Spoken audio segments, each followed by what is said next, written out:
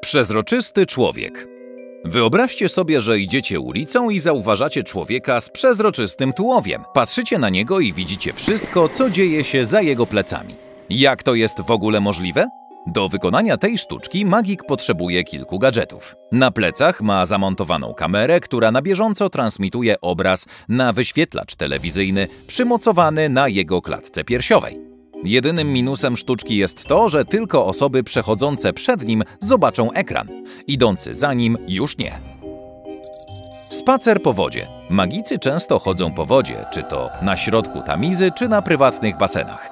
Czy korzystają ze specjalnych butów, niewidzialnych lin? Aby zrozumieć tę sztuczkę, trzeba wiedzieć, na co zwrócić uwagę. Iluzjoniści korzystają z platform plexiglasowych zamontowanych na wysokich filarach, które również są zrobione z tego materiału.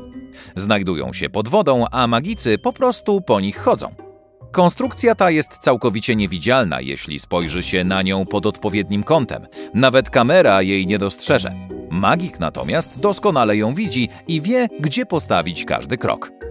Czasem tę sztuczkę wykonuje się w basenie. Świadkowie całego przedsięwzięcia są aktorami, którzy udają, że nie widzą plexiglasu.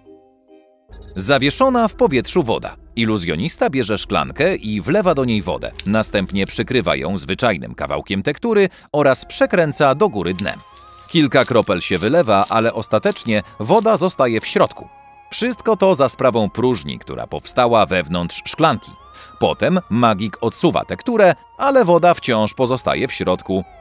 Iluzjonista nie posługuje się zwyczajną szklanką. Tuż przy denku jest wywiercona maleńka dziurka, której przeciętny widz nie dostrzeże. Drugi sekret polega na przyklejonym do tektury przezroczystym kawałku plastiku. W chwili, gdy magik umieszcza karton na szklance, pokrywa ją jednocześnie plastikiem. Zostaje on tak długo, jak iluzjonista zatyka palcem wywiercony w szklance otwór. Kiedy tylko go odetka, woda od razu się wyleje. Zaczarowana miotła. Jedna z moich nauczycielek w podstawówce korzystała z takiej. nie, żartuję. Można czasem zobaczyć, jak znani magicy latają sobie na swych magicznych miotłach. Magia czy iluzja? Nawet gdyby przyjrzeć się z bliska, nie zauważylibyście żadnych haczyków. Oznacza to, że zaczarowane narzędzie do sprzątania wcale nie wisi w powietrzu. Zwróćcie jednak uwagę na wysokość, na jakiej znajduje się miotła. Sekret tej sztuczki jest dość prosty. Deskorolka i ogromne lustro. Magik jeździ na deskorolce. I przy okazji trzyma lustro po swojej lewej stronie, a nad nim wisi sztuczna noga. Z dystansu iluzjonista faktycznie wygląda jakby latał na miotle. Karta przez szkło. Iluzjonista prosi widza o wybranie dowolnej karty stali. Następnie mają odłożyć tak, żeby magik jej nie zobaczył. Jego zadaniem jest zgadnąć, jaką kartę wybrał widz, ale każda jego próba kończy się niepowodzeniem akcie udawanej wściekłości magik rzuca kartami o okno, ale ku ich nieskończonemu zdziwieniu na szybie widnieje ta, którą widz wcześniej wybrał. Nie dość, że jest do niej przyklejona, to w dodatku znajduje się po drugiej stronie. Do wykonania tej sztuczki magik potrzebuje dwóch talii kart oraz dwóch lojalnych asystentów, no i widownię, która będzie stała plecami do okna. Iluzjonista prosi o wybranie karty, której rzeczywiście nie widzi. Ale asystenci, owszem, ten, który chowa się za oknem, przykleja do szyby wybraną kartę przy pomocy niewielkiej ilości wosku. Zadaniem magika jest znalezienie tej samej karty w drugiej talii oraz schowanie jej. Dzięki temu nikt się nie zorientuje, że w sztuczce brały udział dwie takie same karty. Lewitujący człowiek. Pewnie widzieliście ulicznych artystów, którzy rzekomo za pomocą magii lewitują w powietrzu. Cóż, muszę was rozczarować. To nie magia pozwala im siedzieć w powietrzu przez wiele godzin. Sztuczka ta nie wymaga od iluzjonisty żadnego wysiłku. Na chodniku pod nim znajduje się przykryta małym dywanem metalowa platforma. Z jednego z rogów wystaje metalowy pręt, do którego przyspawana jest poprzeczka w kształcie mini siodełka. Wygląda ono, jakby unosiło się w powietrzu. Całość jest umiejętnie przykryta workowatym kostiumem iluzjonisty. Jedyne co musi zrobić to usiedzieć w jednej pozycji na niewygodnym siodełku przez kilka godzin. Stalowa słomka w tej sztuczce zwykła plastikowa słomka może się głęboko wbić w jabłko czy nawet ziemniaka. Jedyne co magik musi zrobić to zatkać jeden koniec słomki. Widownia będzie się zastanawiać, w jaki sposób tak delikatny materiał się nie krzywi czy łamie. Ta sztuczka jest tak prosta, że możecie wykonać ją sami. Chwyćcie słomkę tak, żeby zatkać kciukiem dominującej dłoni jeden jej koniec. Dzięki temu uwięzicie powietrze wewnątrz, jak tylko natknie się na twardą powierzchnię owocu czy warzywa. Usztywni to słomkę i sprawi, że będzie wystarczająco mocna, żeby się przebić. Jak tylko ją odetkacie, znów stanie się elastyczna. Znikająca woda. Powiedzcie widowni, że wiecie, jak sprawić, żeby woda zniknęła. Weźcie kubek, przez który nie widać zawartości, wlejcie nieco płynu i chwilę poczekajcie. Następnie odwróćcie kubek do góry dnem, nic się nie wylewa, woda zniknęła. Sekret tkwi w jednej łyżeczce poliakrylanu sodu, który wcześniej wsypaliście do kubka. Substancja ta zachowuje się jak gąbka, wchłania wodę i zmienia ją w żel. Pamiętajcie jedynie, żeby przed wykonaniem tej sztuczki nie wspomnieć o tym widowni. Substancję tę kupicie w każdym sklepie z narzędziami lub ogrodniczym.